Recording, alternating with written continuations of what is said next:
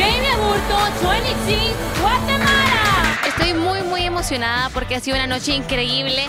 Me he sentido muy emocionada, tantos sentimientos encontrados. Es un sueño hecho realidad el haber podido estar acá presente. Mi meta como Miss Guatemala, claro, todas queremos clasificar y todas queremos ganar. Sin embargo, para para todas tiene Dios un propósito, ¿no? Entonces, el mío fue poner en alto el nombre de Guatemala, ya que, como les comentaba anteriormente, en Ecuador me preguntaban si Guatemala era un país o si era parte de México.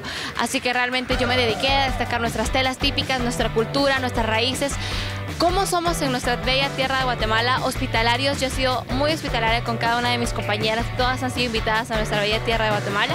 Y por eso puedo decir misión cumplida en Miss Juniors 2015. Realmente tuvimos muchos ensayos. Em, nunca falta un evento que tenga algo de controversia, si no, no es un buen evento. Pero bueno, eh, tanto Miss Colombia como Miss Philippines, las, las dos son muy bellas. Em, como latina definitivamente apoyo a Miss Colombia. Y realmente todo está en las manos de Dios, no puedo opinar más. Es un sueño hecho realidad porque Tengo a mi familia, a mis amigos, que realmente he encontrado amigos que se han vuelto mi familia acá en Estados Unidos y eso es lo que más importa en mi vida.